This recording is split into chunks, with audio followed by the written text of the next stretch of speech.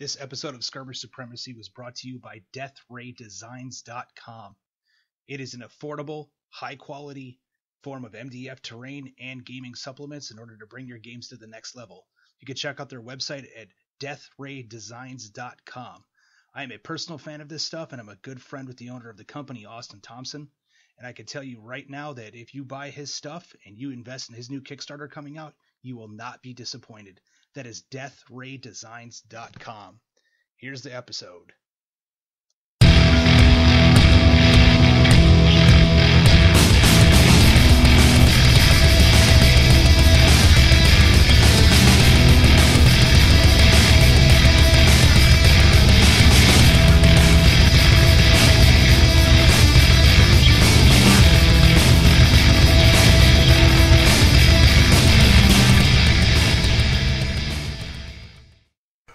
Right, welcome to episode one of Skirmish Supremacy. This is a podcast that's going to be dealing with smaller war games, uh, anything in the skirmish realm, a lot of unknown games, unknown companies that we want you to know more about.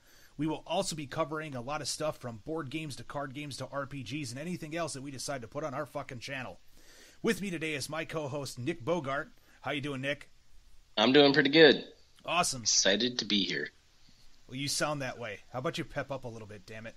I am your host, Tim Korkleski. Uh, I will be the one that's uh, kind of running the show, making sure everything's uh, moving smoothly, and hopefully keeping all of you people entertained out there.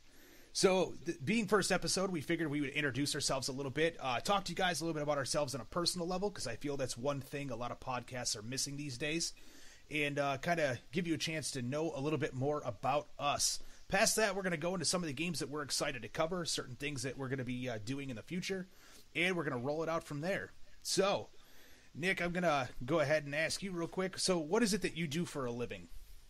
Uh, for a living, I am a malware analyst. Awesome. So, I, oh. you basically are the one that's out there uh, debugging stuff.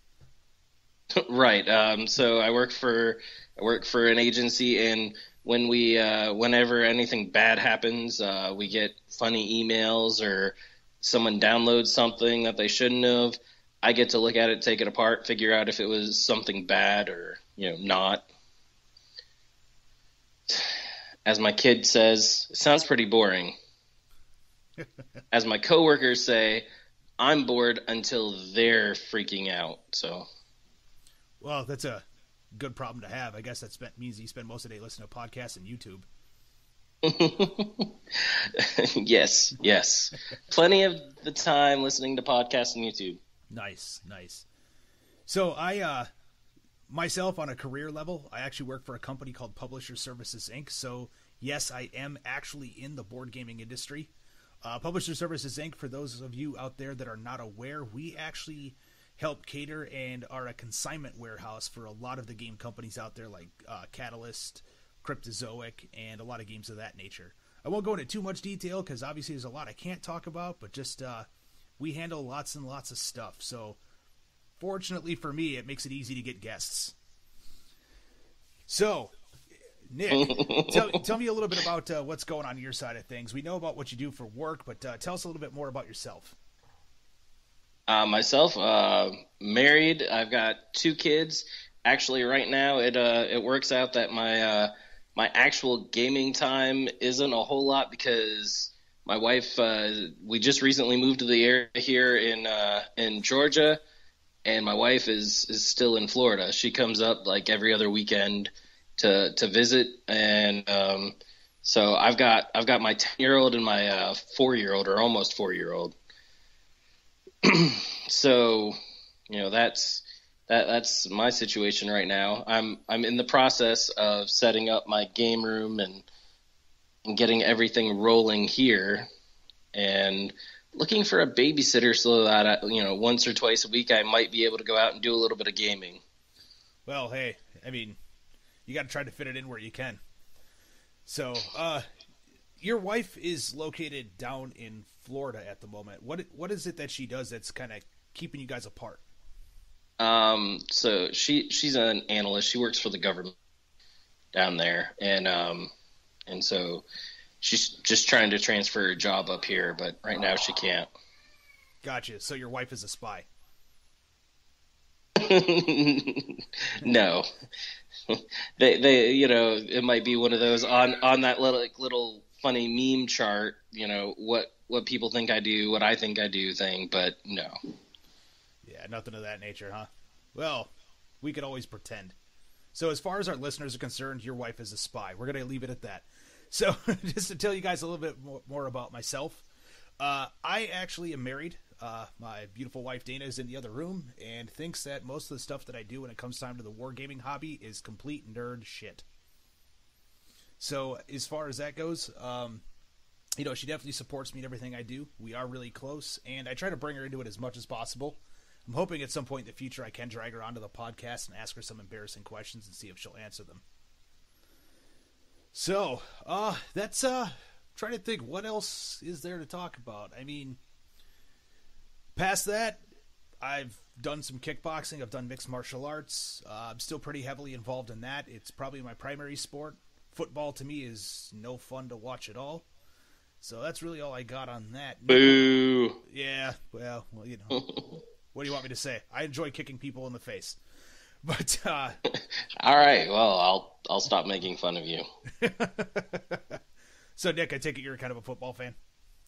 Uh, I, I like it. Uh, I'm not. I'm not a huge fan. Uh, go Giants! But you know, I I do like to watch, watch it occasionally. You know, the Super Bowl is a you know semi big event. Excuse me. Also works out that it falls you know pretty much right around my birthday. So even as an adult, I can you know throw a birthday party and call it a Super Bowl party. Well, hey, you can't go wrong with that. Mine, uh, unfortunately, is during the cold months of November. So usually, anytime I try to plan anything for my birthday, it's like, let's make it indoors.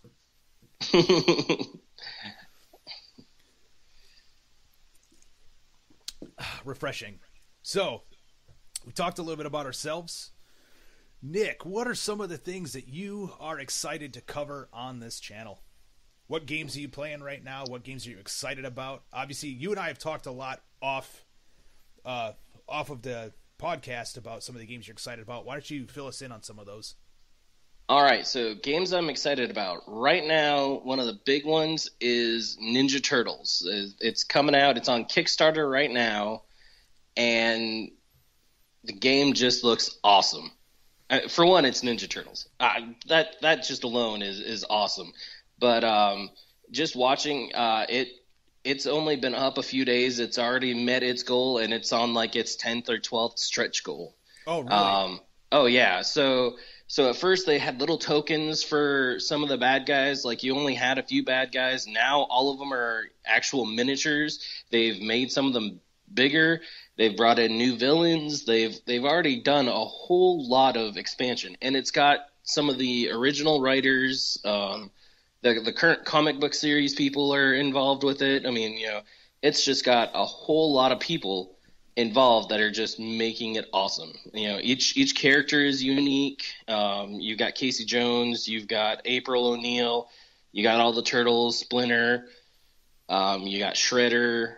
All of them are coming in, so I'm I'm really excited about that one. That's coming out. I, I get like there's updates for it like every couple of days. Yeah, or every. Wrong yeah, sorry about that. Uh, correct me if I'm wrong. Kevin Eastman's actually the one that drew the cover for that, right? He was the original artist of the Ninja Turtles. Uh, yeah, I think so. Let me let me uh, pull this up. Yeah, no problem. So for those of you listening, uh, yeah, definitely go check that one out. I've been looking at the miniatures on that one myself. Um, I actually work pretty closely with IDW, so I I kind of known about it for a little bit. I just wasn't sure what scale they were bringing it out on, and it is actually pretty impressive. You know, I, am they don't really say um, what what scale it is, and it, it plays kind of. You know, it's it's a mix of like a um, a board game and a tabletop game, as some of them have gone. Like you're going to have tiles that you place as you move along in your adventures, and even some of those are uh, reversible. Um, Kevin Wilson, uh, with input from Kevin Eastman uh, so it's designed by Kevin Wilson with input from Kevin Eastman. Okay, awesome. Um, now there is the works cover, which is um, well, the the level I backed at is going to be a pizza box cover, um, special variants of the turtles, and a signed lithograph from Kevin Eastman. Oh wow! So you went for one of the bigger ones.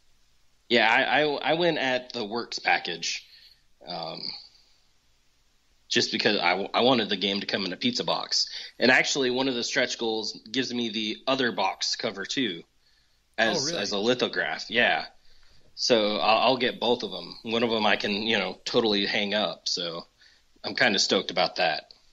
Nice, nice. Yeah, I haven't. Uh, I saw when they launched. Uh, I got an email about it at work, but that was about as far as I got a chance to get into it. I know that you and my buddy Derek have been pretty excited about it. I know he backed it uh, fairly heavily as well. Um, I'm not exactly sure how much, but he was definitely impressed with everything they were doing and the fact they're bringing back the classic Turtles feel.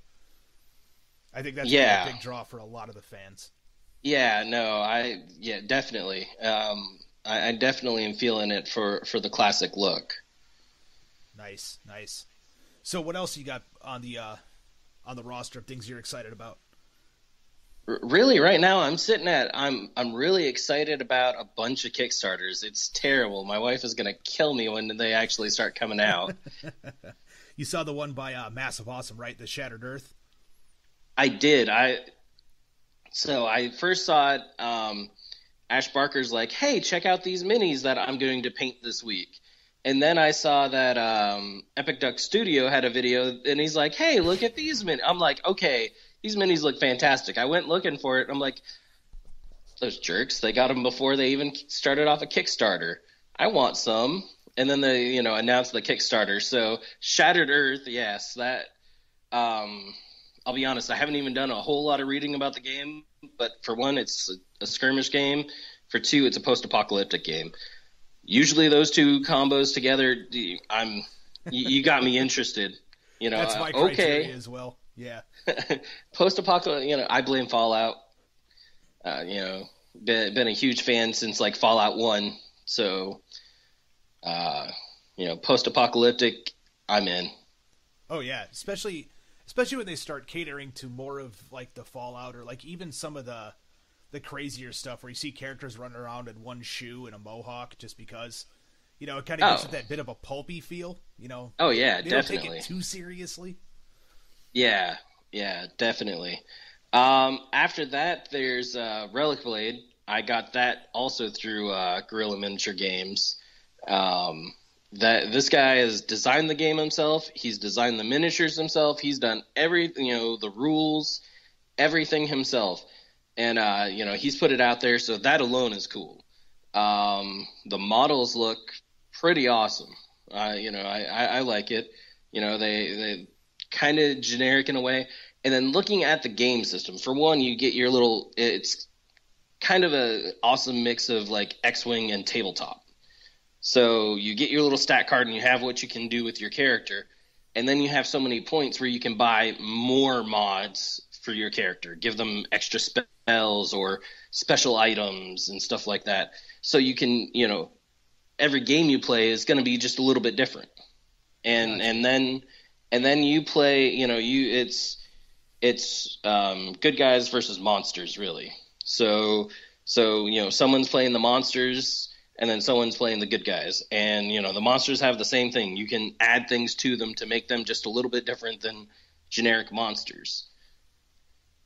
Um, it's kind of like a tabletop version of Diablo. You're you're running out there and you're trying to collect loot. Great. So you're just hitting things till they explode in gold. Exactly. Awesome, awesome. Which brings us to another game that I have actually been thoroughly enjoying is Frostgrave. I know you've been getting into that one as well. Yes, Frostgrave. I, I love Frostgrave, and and yes, I definitely. I'm I'm trying to stoke the people around here. Like, there's a lot of people that are interested and like Frostgrave. They just aren't playing. You know, it's it's just hard to. You know, even though it only is a you know like ten or twelve you know models, people don't put it in their car to bring with them somewhere. So it's like, hey, let's play Frostgrave, and they're like, oh, I forgot my stuff. Well, don't forget it. Stop forgetting it. what the hell are you doing? Just throw the stuff in the car. yeah. They released the Noel artwork, the cover artwork. I know we were talking about that earlier, but that that's just like the worst tease because it's not till like July that they're releasing into the breeding pits the the next expansion. Though they did just release the Sellswords, which gives you a captain, which is amazing. Yeah, correct me if I'm wrong. With the captain, he is actually a normal soldier that can level up. Um, yes, no. He's he's a soldier, but he he can level up and he gets he gets what's called trick of the trades or yeah, tricks of the trade. So he can do different things as he levels up. So he's in addition to the wizard, he's the only other person that gets experience. The interesting part is not only does he get experience, but you have to pay him. Oh boy. So you have eh. to keep him around. Right. So so every every time you go on an adventure and you get some you get all your loot, at the end he gets a certain percentage of that. And as the rules are written, you can't fire him at the end of the of the adventure until you pay him. Wow, so it's not like you could just well, there's a way around that, I guess. You could run him out there and intentionally get him killed. You could. I I almost think they had a mechanic in there for that, but at the same time, you you might not get his gear back or whatever. Which is the other thing, actually. And I'm a little yeah, but they you know they treat him like an independent character, which I do like. You know, he's his own entity. So unlike the other characters, which you can give stuff to and you can take away, if you give him something, he keeps it. Oh wow. You can't just you can't just give him that awesome sword and then just give him a crappy sword.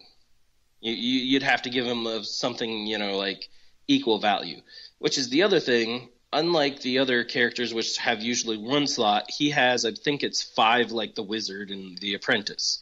So you can totally equip him any way you want. Give him sword and shield, two handed weapon, armor. Just load them up, see what happens. Exactly. Yeah, that's actually kind of a cool concept because one of the things I've noticed, and uh, we're we're still getting everything kind of formed up for our Frostgrave League at work. Um, you know, we've dabbled with the rules. We've done kind of a couple of little demo games here and there. Uh, one thing that I've noticed with Frostgrave, you know, in the base set is that when you're playing it, the only two really important models that you have are your apprentice and your wizard. Your wizard being the most important. Past that, the rest of the guys are just kind of I guess if you want to call them bullets and meat shields, and that's really about their job. Well, yeah, but that's that's exactly how they just they they originally designed it. That, that's that's like right in the foreword of the book is, of the main rule book is these guys. You know, they they say don't spend your time naming them because they aren't going to stick around that long. Which uh, it, it, at the same time, uh, you know, I'm like, oh, that's awesome. At the same time, I'm like, but I'm going to spend time painting this model. I don't want him to just die. I don't want him to die. He's going to get a name. Yeah. You can't just name him Infantryman Ivan, send him out there, and then think that everything's going to be okay when he gets his head chopped off by a barbarian. Yeah, exactly. Yeah. Had that happen in a game. Yeah, we have we have yet to use the random encounters. So let me back that up a little bit. For anybody who's new to Frostgrave, you can actually check it out. It's by Osprey Games. It is a skirmish fantasy game set in a frozen city, as they like to call it. Very similar to Mordheim in its feel. Uh, you are a warband led by a wizard and his apprentice going into the city of Frostgrave to grab treasures to build up your fortress. Um, during the time, you end up hiring these goons. Uh, they are kind of a general soldier. It's everything from warhounds, thieves, thugs, barbarians, crossbowmen. I'm forgetting some stuff in there. Nick, help me out. Oh, uh, marksman, archers, thieves, thugs. You said those. Um, about the only one that you know, there's variants just off of those. About the only thing extra is the um, alchemist you can get. Yes, and a tracker I think is the other one. Yeah, but he's he's really he's he's a bowman. It's just they give him a slightly different name. Gotcha. Okay. Uh, now, now, granted, uh, with um, uh, Thaw the Lich Lord, they did bring in some some other people like a Javelineer and um, a Raven Master and a couple other uh, Bard. Oh, and a Pack Mule. The Pack Mule's kind of cool. In, in the fact that if you need someone, you know, like you only have so many slots you can take stuff in. Well, a pack mule is designed purposely for you need, you know, a couple extra things. That's you know, and it's a guy. He just he's carrying your extra things in a bag. So he doesn't have any weapons. He can't really do anything other than carry stuff. But since part of the game is go in, grab treasure, get out, he can go in and grab, you know, you take whatever you need from him, and then you have them grab treasure and haul it out. Really? So the pack mule can actually grab treasure? Because I know that's one thing the warhounds can't do. Right. So the pack mule is a person. They just oh, call okay. him pack mule. See, here I'm yeah. picturing an actual mule on the table, just like walking around the middle of this damn city. right. well, yeah, but it's actually a guy with a with a little bag slung over his shoulder.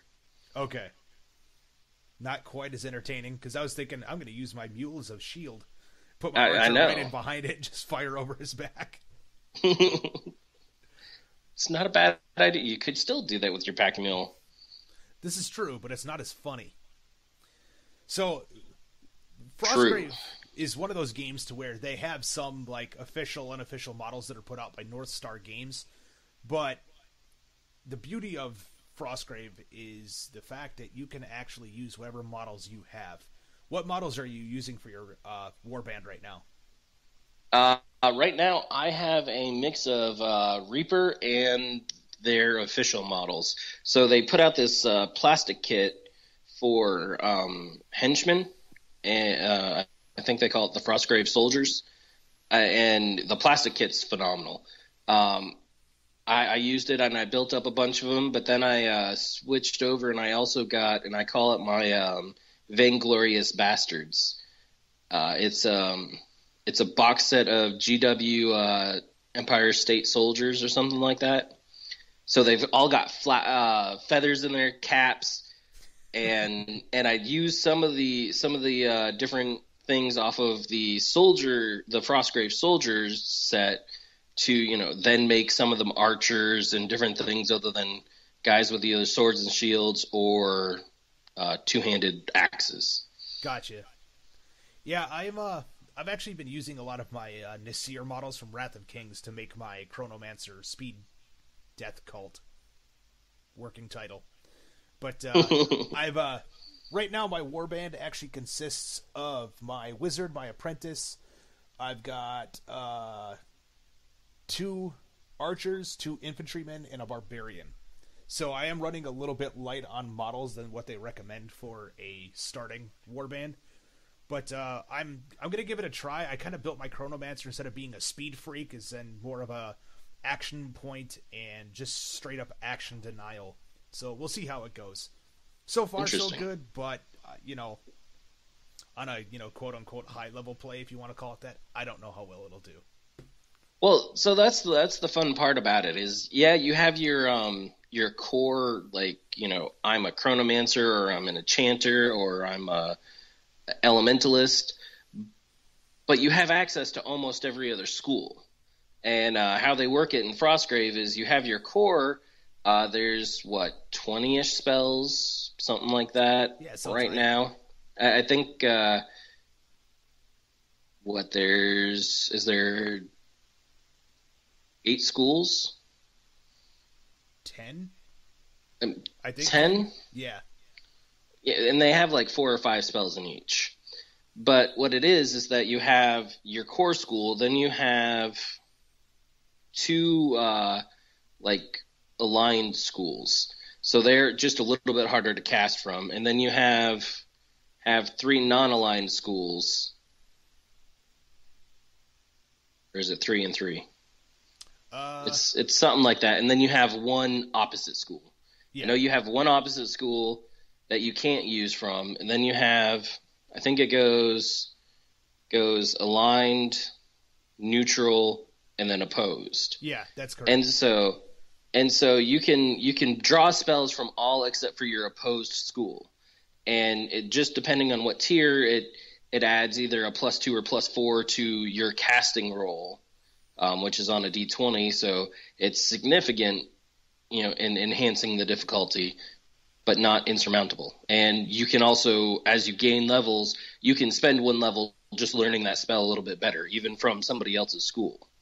Right. So so that's that's the beauty of it is I might start out as an enchanter, but I can you know in the end be an elementalist or something like that more. I you know if I just spend the time working on it. Yeah, that's one of the things I definitely liked is it didn't feel like, you know, in my case, I'm playing a chronomancer that 100% of my abilities are going to be about either speeding me up or slowing you down. I could I could swap it out. I could uh, like I believe I took elemental hammer, which is great for the barbarian because now I'm doing additional damage on the barbarian, along with just slowing people down. So I could lock people in place, put elemental hammer on the barbarian, send the barbarian forward. Yeah. Hopefully it doesn't die. But uh, hopefully. Barbarians hit hard, but uh, they are not the greatest against arrows at all. So that's well, one thing I've definitely noticed. Yeah, so so barbarians are meant to hit hard, but they they don't wear any armor. So so that you know they they're just at a ten. They're you know as tough as a thief. They've got a few more hit points than than your basic thief thief or thug. So you know it's it's that trade off of I want to get in there and smash you, and then get out. So I've been I've been iffy. I you know I, have been I've I've stared at a barbarian because a thief or thug costs you twenty gold. Granted, a thief they actually give a bonus to your opponent when they try and attack them. They're just that bad at attacking. Um, but you know, a barbarian sits at like a hundred, 120 gold. You know, it, so it's a significant in, investment in getting him. And he's got a couple more hit points, but he's got the same armor. It's like, oh, right. Made but then that. he hits like a dump truck. Right, and uh, granted, you're either playing on a two by two or a three by three table that's supposed to have, and and they say it right there in setting up your table a lot. There should never be really more than one or two areas where you see more than 12 to 24 inches. You know, it. You, you they really want you to build a city. They want you to be in a city type area where it's hard to see, and you end up not seeing a lot of boards like that because that's just a lot of terrain. It can be intimidating for a lot of people if they come from, say, like 40k or fantasy, where they're used to having six moderate sized pieces spread out across an entire six foot by four foot table. Right. Yeah. Definitely. Infinity players, they look at that and say, "Hey, what the hell? No big deal. We're used to that." Yeah. Yeah. Actually, I just uh, I just finished uh, putting together. I started painting some of my Infinity terrain, and it is dense. And I was like, "Oh, hey guys, you know." Look at this! I, I finished my Infinity terrain, and I kind of marked off a four by four area on my table, and I'm like, you know, it, seems to be pretty dense and all that. And someone's like, yeah, you need a whole lot more scatter and intervening terrain. Looks good though. I'm like, damn it. It took me like three days to put all this together. I, I haven't even started painting yet. so did you end up getting MDF or did you get uh, resin terrain? Uh, it's MDF terrain. I got it from um, Shark Mounted Lasers. Um, and and it's it was it, at Christmas time they had it like fifty percent off. It's their tournament kit. It's not even on their site right now. Actually, I'm not sure what's going on over there because they seem to be taking a lot of their stuff off the site. But really? um, yeah, yeah, because I went back looking for their retro table terrain, and they've got like one building. Oof, that's brutal. Yeah, I, don't know what's going on. Uh, I emailed him a little while back because I think I'm missing one L-shaped building, and uh, I haven't heard back. But I also haven't. I emailed him once. I, I kind of needed to follow up with that.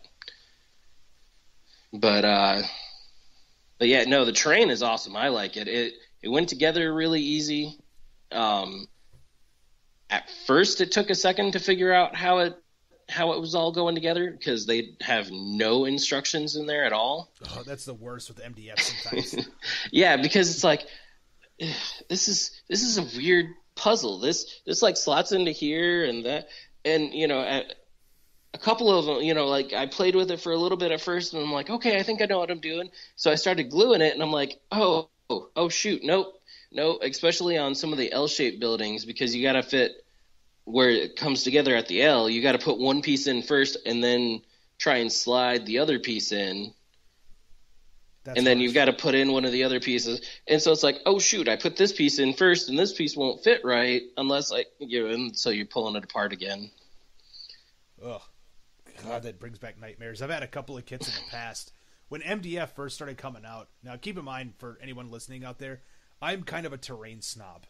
Um, I say that with all love and respect to all M- MDF terrain guys out there, including my buddy Austin. Um, but he knows I I can't do MDF terrain that looks like boxes. Like if you stand back from the table about 18 inches and it looks like a wooden box, I can't do it. It has to have some good looks to it. That being said, with some of the initial kits that I got of MDF terrain, they were a freaking nightmare. Um, I know they've come a long ways. Uh, a lot of companies out there are doing some good stuff. I haven't seen Shark Mounted Laser too much except online. I've never seen it in person, but I've seen obviously Austin stuff over at Death Ray Designs, Impudent Mortals, and Warsenals up close and personal. And their new stuff is way better than their originals. Yeah, well, I've only really been messing with MDF in the last three, four months. Uh, really, I bought. So I bought from it was uh, the Death Ray Designs uh, Rust Point kit through um, Brush for Hire. I bought that at Christmas time and got that, and I bought um, bought the Shark Mounted Laser at the same time, and, and both kits are awesome. I now the uh, the brush for hire, the Rust Point kit did come with instructions inside of it, and you kind of need it. Yeah, that kit in particular is quite amazing. Just saying. Would that be because you had something to do with it? I yeah, I, it might have, but uh, Yeah. so, folks listening out there, go to deathraydesigns.com, buy the Rust Point set. There, there. I've done my plug, and uh, we'll go from there. But yes, it's an awesome set. I really like the fact that Austin did decide to throw in the directions with that, even though they are kind of shanty towns. Right. Um, about the only thing that took me a little while of just staring at it, going, "What?" was there. There's um. They they say you know here's here's like large hovel A one. Here's large hovel A two. Here's large hovel a uh, V1. Here's large hovel V2, and I'm like, what does it mean A1 V1 V? You know, eh, how how did what what is this? You know, because at first I was looking at it and I'd started putting them together, and I'm pretty sure I have a couple that are actually upside down from how they were supposed to go. Um, and you know, then it's realizing, oh, A meaning that the sides slope down and out, and V meaning they slope up and out, like a V or like an A.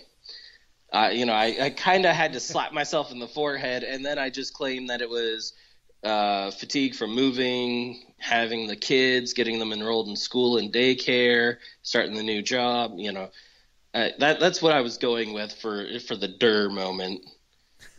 because I think some tucked somewhere on one of the instruction sheets in like fine print is, "Hey, this is what these mean." But it, but it's like tucked on there. It's it's not you know like everything else is big, got a picture, you know. And that's just like at the bottom. Yeah, kind of the hey stupid section. exactly. It totally applied to me, so it works. So, tell us a little bit more about the shark mounted lasers. I know you showed me some pictures of it online, but it looks like you actually got quite a bit out of that batch. Yeah, so it comes with it comes with a whole lot. Um, it comes with let's see, doesn't come with the musket that I have in my hand, but so it comes with a big uh, objective building. It's supposed to be the eight by eight building. It has um, let me see. Let me flip around my camera here as I talk about it. If I can figure that out. There we go. Cool. So so right now it's sitting on my uh, my handy little uh, terrain holder that's actually not big enough. But um, there's there's this building which is my test paint. Um, started not not uh, I need to get some painter's tape so that I can you know like you'll notice the blue kind of goes out of the lines. Yeah. I was never very good at that in school, so um, but uh, it's got got eight of these um, buildings that are L shaped, and the difference between some of them is like there's a door on this little part right here of the L, um, and some of them have the door have two doors. So there's one on the same spot, and then there's one on the back of the building. So there's one right here, and then that one right there. Okay, cool. And the, the doors are removable, so you can actually put miniatures in the buildings compared to just Yep. saying The yeah, and so actually the roof's removed, so you can you can put them in there, which is important because you can put train and stuff, objectives and stuff like that, and have somebody standing at the door, the windows, you know. So if they're standing, you know, say right here, and somebody's here, you can't just shoot them because you can't actually see them. Gotcha. Uh, you know, same goes, which is really important for Infinity. Uh, and then, in addition to that, there are here's more of the L shape. Then they do have, you might call them a shoebox. It's just a little building. Um, and and there's eight of these as well. Some of them have a single door. Some of them have a door on each side. Um, and the windows. And on the roofs, you'll notice some of these have, like this one has uh, it open on both sides. This one, which I haven't glued enough apparently because it's coming apart, uh, isn't. It's it's actually closed on both sides. That's you get walkways that you can put between the buildings. So you can make it so that you can have the vertical height and run across. Um, and then you get four of these buildings right here, which are squares. Um, they have two doors, and they can do the same thing with the different walkways. And the little buildings fit on top of these bigger buildings. okay, so, you can, stack it. Yep. So you can stack it so that you can put someone up here, and you know they can snipe from there. Awesome. So that actually seems like a pretty modular set, pretty easy to use. Yeah, um, you know, I I finished setting it up, brought it downstairs, put it on my table, and I had uh, you know, just just threw it together really quick. You get uh, ladders as well that can fit in those same little slots on the roofs, um, so people can climb up levels, um, and you can put the bridges. And you know, I just you know, in ten minutes, I set up you know all of the buildings in a four by four. You just didn't have enough damn scatter terrain. apparently. Though the nice part is is as you're taking stuff apart like, like uh, those windows and all that they actually still come with um with the little pieces of wood inside. They're just kind of stuck there from when they were cut so they'll fall out. And some of the other pieces are just little um little kind of oval ovals with a cutout in the center. And so you can put the different pieces inside and so you can make little barricades and stuff like that. Oh, nice. So yeah, uh, you know, I totally was I was putting stuff together. I'm like, ooh, look, trash bits. I can do something else with these. Yeah, that's a great thing sometimes with a lot of the MDF terrain is some the the extra stuff that usually you throw out, you can end up turning into other stuff. Of course, that goes for any type of terrain making. So, God, Yeah. really sounded like an amateur. But uh, yeah, uh, I took I took some of the the doorways when I punched them out, and um, I took those and put those on the same kind of bases. So you do have, um, you know, so now I have short barricade walls and I have taller walls that I can just kind of set up around corners and whatnot, kind of like privacy fences and what and stuff like that. nice, nice. So, what else you got on your painting desk? I know that uh, we've been chatting the last couple days about it over uh, Google Hangouts and things like that. What's some Oh, of the other stuff you're working on?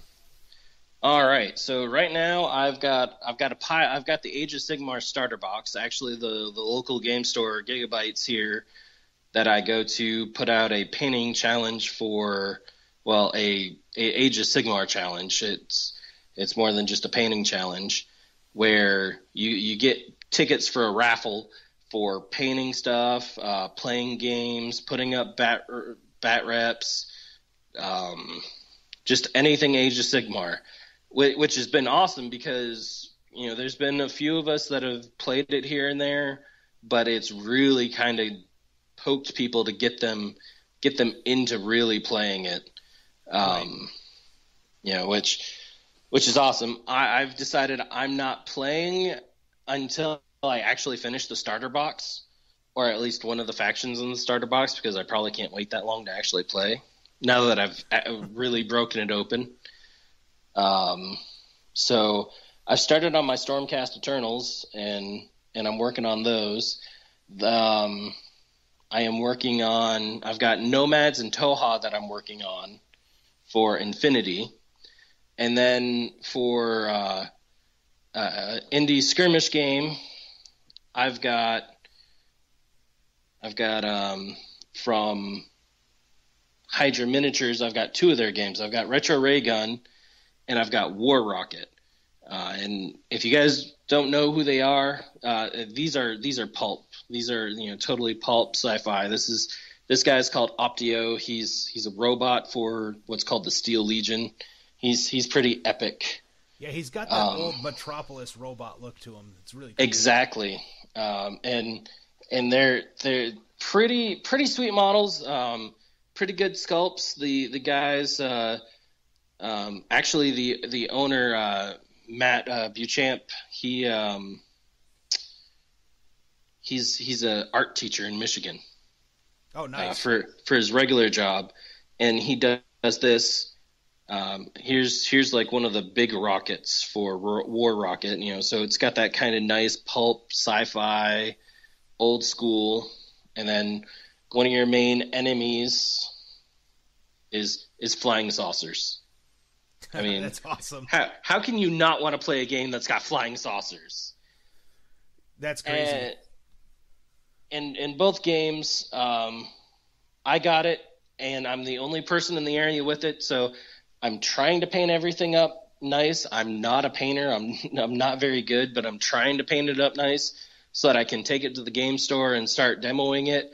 Uh, actually, I was sitting there two weeks ago at Giga-Bites, and they'd gotten an order, and I was kind of sniffing through the boxes of stuff they got, and I looked at the bottom, and I'm like, "Hey, I know that cover," and I reached down and pulled it out, and it was a retro ray gun uh, book and I'm like, hey, you you actually got it. And uh, David looked at me and went, well, yeah, you said you were going to play it. I had to at least look at it. So you know, that that definitely, if I didn't like Giga-Bites to begin with, that definitely gave them more points. Oh yeah, David's always been really good about that. He, um, Giga-Bites is actually a local store by us in Atlanta. Thing I really like about Giga-Bites is the fact that the owner has done a fantastic job to keep himself established and relevant um, when a lot of gaming stores out there, quite honestly, do not. So he has gone out of his way to make sure that he is stocking a lot of the smaller games that uh, might only have a niche following, but he at least puts forth the effort to do that for the community. So that way, anybody that comes in with the smaller games can actually demo it and have other people buy into it. Yeah, uh, actually, that's totally paying off for Guild Ball right now. Uh, blown up. Oh, it's crazy. Um, and and the game's fun. I've only played a couple games of it, and I've seen people play in games of it. And pretty much any day you walk in there right now, there's someone playing it. Uh, and if it, you if people don't know what Guild Ball is, it's it's Blood Bowl, but it's soccer. Yes, that's you know, probably the best analogy I've heard. You know, um, and and you you have a you know the only thing about it is you you don't stop playing. There's like no resets of the game. There's no going back to the line of scrimmage. It's just you keep going. You have your kickoff, and then it goes until somebody scores points, and you get points for knocking people out. You get points for scoring goals. You get points for there's there's a couple of ways you get points and it, it's just really easy. you can play with uh, the starter kits. You get the starter kits. It comes with three models, and it comes with the well. The starter kit doesn't come with the rules, but there's quick start rules right on the the website for the the manufacturer, the company, the publisher that puts it out. Uh, Steamforged Games, I think, and and they're really simple. You know, it, it doesn't take a lot, especially with that starter set of rules. You can add more to it. It's a two by two space for for the starter set for three models. Nice. Um, well, yeah, that's that's totally awesome. You can play that pretty much anywhere. Uh, and then bigger games are played on a three by three mat, and that's it. You know, and and that's when you're playing with your full. I think it's seven models. Okay, so it definitely scales up. I noticed that, and uh, they are already working on alternate teammates because I know that you're only allowed to have seven on the field, but uh, don't they have rules to where, like, for tournaments, you can uh, you kind of bring your whole faction, but you're only allowed to swap out like a certain amount of people per game session. Um, so right now it's we're right now we're in season one. We're getting ready to move into season two, and they're starting to put the season two stuff out. And the season two stuff actually replaces some of your models. You don't ever end up with any extra models. You have your whole team. The only case where that's different is that they're the one faction in there. They're the mercenary faction. They're called the Union, and they have different characters inside of their their team that you can use for your team. Okay. But but there's only you know so certain ones will go with your team and certain ones won't. They actually they have a special rule in there that says works well with or will work with, and then who they will go with. Gotcha. Oh. Awesome. Yeah, because I haven't had a chance to really look at it yet. I have. Uh, so between obviously doing this podcast and the fact I'm on the Throne of Angels uh, video blog, we have got far too many projects right now to even think about getting into another game. So, uh, oh god, looking back at my desk here, uh, I've got Age of Sigmar as well. Uh, I've got. Uh, I am actually playing just uh, straight up Khorne Warhost. So that's either between the uh, the Bloodbound of Khorne and the Khorne Demons with some Chaos Giants because it's always funny having big guys that when they fall over, they actually have a rule in the game called Timber. When you kill off a giant, it will fall on other models and kill them. Uh, so, which is hilarious to me. Uh, it is. We have got right now currently four people uh, signed up for a Batman story campaign that we're going to be running. Uh, I myself am actually running Victor Zsasz and the Arkham Lunatics along with Hugo Strange and More Crazies and Killer Croc. So I've basically got the team of nut houses. Uh, Derek is going to be running Bane and his mercenaries, and then we've got somebody running Court of Owls, and one other person is going to be running essentially their version of the Justice League. Oh God! On top of that, I've got Asterians that I am getting currently painted up and washed in for Dead Zone, and uh, which will then bloom out into Warpath, the new uh, game coming out by Mantic. Kings of War Ogres. I got stuff I got to do with those, and then uh, we just got our hands on a bunch of stuff for Warzone Resurrection. On top of that, I am dabbling in Eden, and I think that is everything at the moment, which is quite a bit when you stack it all together and you have time frames on everything. So yeah, I've got no time for other games right now, is what it really comes down to. So, um, yeah, you know, I'm definitely excited about it. It's just it's a it's a daunting task when I look at it as a whole. So, past that, yeah, I uh, I got some terrain I got to get painted. Uh, I got to finish up my Frostgrave Warband and a partridge and a pear tree. That's really all I got. I know it sounds like such a small amount. It piles up. I, I, I had it all on one point on my table. Actually, I've even got um, stuff for uh, this is not a test, and and that's about a ten or you know fifteen man um, war band, and I've got three of them. Nice. I've I've gone with some of the Wild West Exodus guys. I'm going to have a bandits out of them. Uh, so I use a lot of the outlaws. and then I have a peacekeeper, which is going to be uh, it's a lot of the Union guys, a lot of the Union from Wild West Exodus, and then I also from Brother Vinni out of uh, out of uh, Russia, uh, very very dubious in nature. They they seem to uh, resemble a very popular franchise of games, very very very closely with power armor and robots and stuff like that. It's it's going to be my preserver faction, um, but they're they're called Nuclear Sandlot, and right. and they're just awesome sculpts. Now, granted, they stand almost a head shorter than the uh, Wild West Exodus guys, but in the greater scheme of things, I don't think that's going to affect them too much for uh, for regular play. You just got midgets and power armor. Exactly. Yeah. And it's a good thing that they kind of alluded to what they are because nobody wants to see them have a falling out over uh, what they're doing with their miniature line. So uh, I, d- I definitely looked at them the other day when you sent me the uh, the link, and that was the first thing that popped in my head. But they do look absolutely amazing.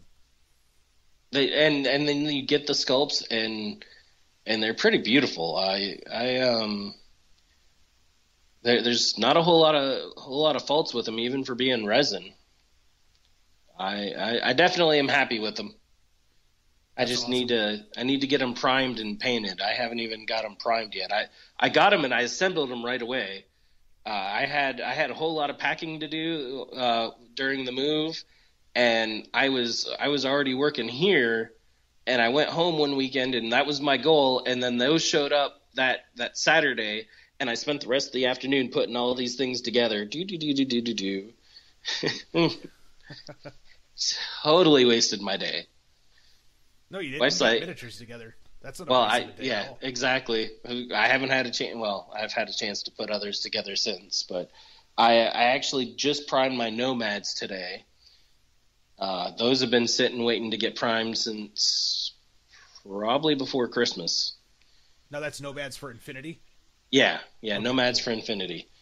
Um, I let's see, yeah, Prime, and then I have my um, retro ray gun guys. Except for I had to order a couple more to finish off some of the some of the units. So those are the only things not currently primed, but the rest of those are primed. They've actually been primed since almost the day I moved into the house. I like put some stuff away, you know, got some things organized, set up my game table, came downstairs, and I'm like, ah, I get to prime stuff finally. Nice. So I, I, started putting those together. Now you were waving your hand back and forth like you're using a rattle can. I take it that you got pretty high off the fumes since you're doing it in a enclosed basement. Well, so I have a door outside right in my basement, so I kick okay. that open, rattle can them near the door, and then and then let them dry. Though the other day it was awesome when I was doing my uh, my Stormcast Eternals because it was uh, it was Saturday and it was really really warm out. So I just I kicked the door open, brought them outside, set them on my little. Um, it's supposed to be a guest stool so that people can sit. It it really holds miniatures really well. So it's a micro they, they, table. It, it it is, and so I brought it outside and I um I, I rattle canned them outside and you know let them dry in the sun for a few minutes and then brought some more out and you know was a was real productive. Hell, I I was I was surprised. I um, well, I think that was Sunday actually, because because we were up till like two or three o'clock Sunday morning, and I was putting them together. Oh yeah, I remember we were up pretty late. That's when yeah. I actually managed to get together that ten man unit of Khorne bloodletters. By the way, anybody out there that knows about the Khorne bloodletters, they are a giant pain in the ass. The fact that you got to weave the face and the tongue through the back of their weird head dildo to get it to stick onto the body is uh wow. Yeah and to think i've got two more units of those i got to put together for this shit. Well and that's like the uh that's like the frickin' uh dog that goes with the Khorne what champion or whatever uh, out of the Age of Sigmar box because you you put his face together and then you've got the tongue that you got to try and slide under while like basically the top of his rib cage has to slot in just right and of course it's it's nice hard plastic. It doesn't really give to slide in properly, so you sit there and you get it just so far, and then it just stops. Uh, and it took me a while because I was scared I was going to break it, but I finally started like really applying pressure, and it it finally started like micro millimeters inching in, and I fi- I got it done, and I went, screw this dog. I hope he dies in like every battle. now you didn't put the dog on the base with uh, the why am I forgetting the name of the damn thing? Uh, the Mighty Lord of Khorne, did you? Or did you leave the dog separate? No, the dog's supposed to go on the base. Okay. He, he's he's chained to his hand, so yeah. he's got him on a leash. So he's supposed to be standing on the base with him. Right. I see. When you showed it to me the other night, I thought for some reason you had them separate. I was like, oh, that's a cool way of doing it. I would have, but then the the mighty Lord of Khorne wouldn't have had an, had an arm. Oh yeah, that's because true. I forgot how that went together. It's been a while since I've actually had to look at how the assembly went on that. Yeah. Piece of shit. It was such a pain. I remember. so annoying.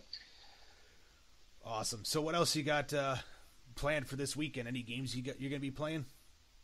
Uh, actually, this weekend I'm going back to Florida to do some packing and whatnot, um, and and take my wife out to a to a very special dinner and you know Deadpool and treat her really nicely. Yeah, we all know what that means. It's it's Valentine's Day weekend, and you know I've got to, you know, priorities. You know, I told her we have a great romance movie to go watch. I told her it was a romantic comedy. I may, may have used Facebook memes to convince her. And then she said, "You just want to go see Deadpool, don't you?" And I went, "Yes." She's like, "All right." I've already bought tickets. Nice, nice. Yeah, I've uh, got a little weekend planned for the wife. I'm not going to say too much because I know she's in the other room. You know, right now all she thinks we got is some dinner. That's it. So uh, I'm not going to uh, talk about it too much. Maybe this next episode I'll go into some detail. Not all of the details, you bunch of perverts, but uh, just enough for what you need to know. So, past that, man. Uh, yeah, I really don't have too much else on the desk at the moment. I think I've pretty much covered everything that is uh, filling it up. Yeah, the only thing I managed to get primed this weekend, you actually got a lot more primed than I did. The only thing I got was just uh, a stone giant primed up. And that's it. nice. Yeah. Well, I spent most of the weekend on assembly. I mean, you saw the uh, yeah the small trove of dudes that I've got, and uh, the other giant. So, if anyone's looking for an impressive model that you want to put on the table, I'm not going to lie, it's expensive. Um, Mierce Miniatures makes what's called the Jotun. It stands probably five inches tall, six inches tall, if I were to guess. And uh, if you look at it in a direct comparison to most other models out there, it will dwarf anything. If you guys are uh, familiar with uh, War Machine, I actually put some of the older Warjacks, not the newer ones, some of the older ones that stood about uh, two and a half to three inches tall. They maybe come up to his waist. It's a big model. So I'm pretty impressed with it. I kind of want to get this guy painted up and uh, put him on the table as well. So that's going to be exciting. But uh, yeah, past that, this weekend is going to be filled up with Valentine's Day, and uh, hopefully getting a little bit more primed, a little bit bit of stuff done, sneaking it in here on Sunday. But we'll see. Yeah, definitely. Um, oh, the other thing I have, uh, I'm probably not going to break it open for a little bit longer, is uh, Drop Zone Commander. Nice. I, I picked to play that one. Yeah, I haven't played it yet. I picked up the two player starter set, um, and I just I haven't. I, I opened it up. I, I looked at all the inventory. It was it was very honestly. I walked in and I went, huh. Kind of been eyeballing it. All right, I'll I'll buy the two player starter set. Of course, when you buy a two player starter set, you're supposed to finish the starter set and you know invite someone to play with you. But I just, yeah, I, I put it together real quick and then took it apart. Well, I, I put together some of the buildings. Uh, the buildings are kind of neat. Actually, I like the buildings that how the buildings are designed in the uh, Operation Ice Storm for Infinity. Just a little bit better. Uh, they just they fold in really nice and they look really really really nice. The uh, you know same same idea kind of buildings except for a smaller scale. Um, for for drop uh, drop zone, and and they just the roofs don't fold as nice as I would like. Ah. They don't they don't just sit in there. Um, it looks like I'm going to actually have to take and put them in there and then like glue them to hold them together, which isn't going to be a bad thing because I don't plan on really hauling them around. I've got my game table here, so you know once I start playing, I won't have to go anywhere with them. Right. Yeah, that's definitely true. I didn't really think about that one because uh, I remember looking at some of them, but uh, do they now with those? Do they collapse down to make them portable to take elsewhere, or not really? Yeah. Okay. Yeah, no, they totally fold up. They, um, uh, I was actually uh, I was doing an Airbnb when I first got here, and I bought it and I put them together, and I just kind of sat them in this corner of the room in the Airbnb for a couple weeks, and I, you know, it was supposed to be my reminder to put everything else together, but I I think I threw a shirt over them, and you know, left them there till like the day I was I was moving out of the room, and I was like, oh hey, yeah, and I, I, took them and folded them up, and it all fit right back in the box just fine. I, you know, can take you know just grab the box and go once I put everything else together. Nice, nice. Well, we should probably get wrapping this one up so we don't start rambling on like a couple of assholes. So, is there anything else you want to throw in at the end? Um. Oh, so two things. One of them, I just got a package from England. It, it um, it was the uh, old GW uh, battle cars.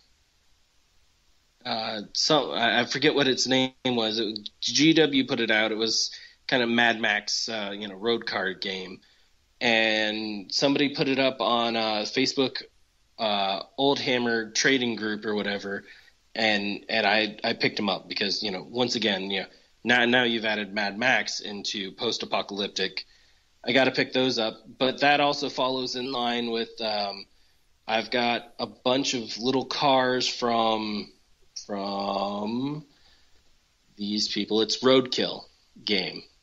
Uh, they had a Kickstarter a while back, and they did they did the cast for the game, and they're awesome. I finally got them. I got a big package of them. Another game that came with a whole bunch of you know like I've got a they're six millimeter, I think ten millimeter scale vehicles, and it's got a um, tractor trailer in it that's just it's honking. Like you pick up the tractor trailer, and I almost say you could kill someone with it because they're they're all pu- pewter done. Oh man, and it's solid. Yeah, it's just solid. uh, I almost dropped it on my toe, and I'm like, oh, oh no, no, don't do that. I'll be going to like the hospital. brutal. How did this happen? I dropped a toy tractor trailer on my toe. Yeah, I can see how that goes. Way to be an adult. yes. No, it's not for my kids. It's for me. it was mine. Yeah. I don't let my kids touch these. Are you kidding? oh God, I've I've got a young niece and nephew. I wouldn't even want to imagine what would happen if they got their hands on some of the miniatures I have. Ugh. so, so actually, my kids are pretty good. They they know you know basically hands off on a lot of the stuff, but I um I I usually have some of the extra sprues of of different things like uh I bought the Wargames Factory Viking sprue or you know Viking box for Frostgrave, and I've I've only put a couple together. They're kind of just a little small, so with my other two sets, I haven't really needed them. I figure I'll use them for something. But every now and again, I'll glue one together for my uh, my youngest, and you know, then he's got a couple of action figures like Daddy, and runs off and plays with them. Comes to me, you know, an hour or two later, he broke the arm off. so glue it back together and send him off again. Nice, nice. Yeah. Awesome. Well, I think this is probably a good sp- section to wrap it up here. Um, I know this next week we'll be uh, actually starting to have the podcast with guests. Normally, this podcast will start having uh, a lot of uh, guests from the industry, either people from a YouTube channel, uh, people that have upcoming Kickstarters, products they want to uh, let the world know about a little bit more. Uh, just personal friends of ours, so we could sit back and banter and bullshit a little bit here and there. And uh, yeah, just getting to know some of these people more on a realistic level outside of just, hey, we all play games. Anything else you want to throw in there before we go, Nick? No, I think I'm good. all right. I, I don't want to get spun up anymore. cool, man. All right. Well, this will be the end of episode one of Skirmish Supremacy. We will see you all next time.